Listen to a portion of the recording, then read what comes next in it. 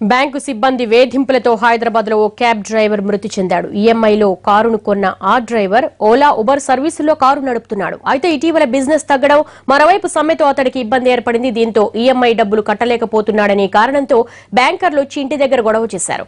దీంతో హై బీపీకి గురైన ఆ డ్రైవర్ ఆసుపత్రికి వెళుతుండగా మధ్యలో మృతి చెందాడు. దీంతో సహచర క్యాబ్ డ్రైవర్లంతా ఆందోళనకు దిగారు.